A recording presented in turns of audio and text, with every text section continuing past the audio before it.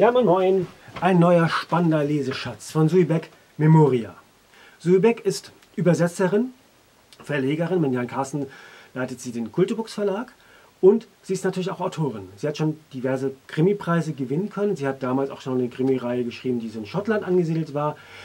In den neueren Krimis geht sie auch bis in ihrer Leidenschaft nach, nämlich der Science-Fiction-Literatur. Sie hat mir zum Beispiel auch von Star Trek mal die Star Trek Academy, das äh, Emblem, geschenkt. So teilen wir eine kleine Leidenschaft. Und seit der Lieferanten und danach Paradise City schreibt sie Romane, die in der nahen Zukunft, also in einer verlängerten Gegenwart angesiedelt sind, ebenso auch Memoria. Spielt in einer ähnlichen Welt wie bei Paradise City, falls man es gelesen hat, muss man aber auch nicht. Ähm, die Welt ist globalisierter, die Menschen leben in Existenznöten, aber auch gleichzeitig luxuriöser, von Security-Menschen bewacht. Und natürlich auch die Klimaveränderung greift immer mehr um sich. Harriet ist die Heldin von Memoria.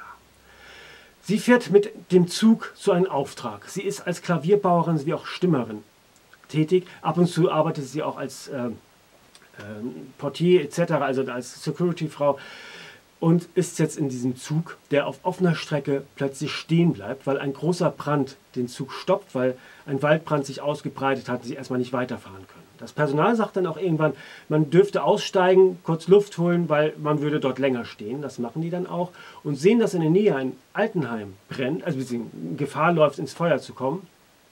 Und die Menschen werden dort evakuiert. Die gehen dorthin und versuchen zu fragen, ob sie helfen können. Harriet sieht in der Nähe ein Haus, was alleine für sich steht. Und sie versucht dort einzudrängen und rettet auch eine Frau. Um ihr weiterzuhelfen, nimmt sie den Wagen, der dort auch steht, und fährt mit der älteren Frau zum Krankenhaus. Jetzt wird ihr was bewusst, denn sie kann ja gar nicht Auto fahren. Sie hat ja gar keinen Führerschein. Und die ältere Frau hat sie auch mit ihrem Vornamen angesprochen, was sie dann da machen würde, aber das tut sie später hin ab.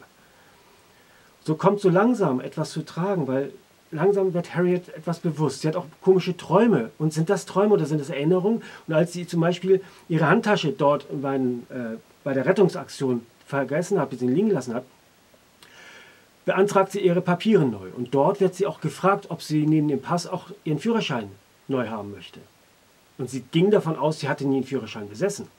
So baut sich langsam eine Geschichte auf, weil Harriet möchte nun wissen, was ist mit ihren Erinnerungen los? Was ist da vorgefallen? Sie war Pianistin. Sie hat eine Verletzung an der Hand, wo eine OP war.